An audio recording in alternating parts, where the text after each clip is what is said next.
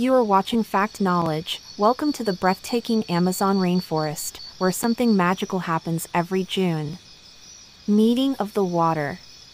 Here, the dark Rio Negro and the sandy colored Solimões River flow side by side but never mix for over six kilometers.